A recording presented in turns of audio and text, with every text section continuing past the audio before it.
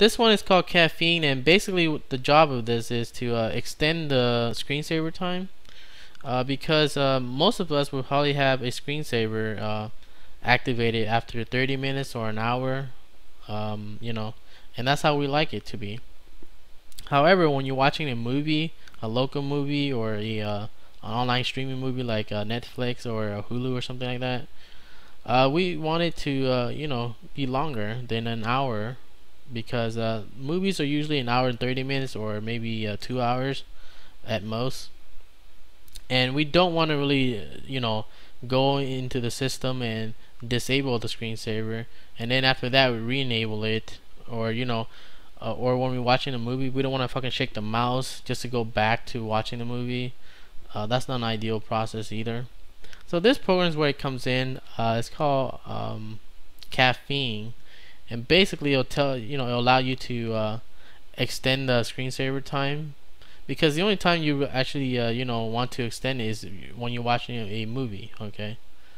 And uh, for all the other things you you want to keep it to the default which is like 30 minutes or an hour uh, depends on you. Uh, so this is where the program comes in. Uh, just go add the repositories in alright? And after that here you go. This is how it looks like. It's just a teacup here and basically you can have it uh, set the amount of time you know activate it for five minutes ten minutes or an hour four hours. Or you can click on others and you can uh, you know have your other options here of how many hours and minutes you want. Pretty basic stuff but uh, if you click on this you see it has a little uh, tea or coffee or something like that.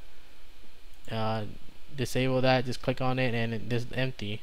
Uh, that's pretty much it so if you, if I go ahead and um, let's say I set it for two hours, right? You see, I'll say activated right here, and if I uh, un I click it again, it'll say uh, deactivate or cancel or something like that, right?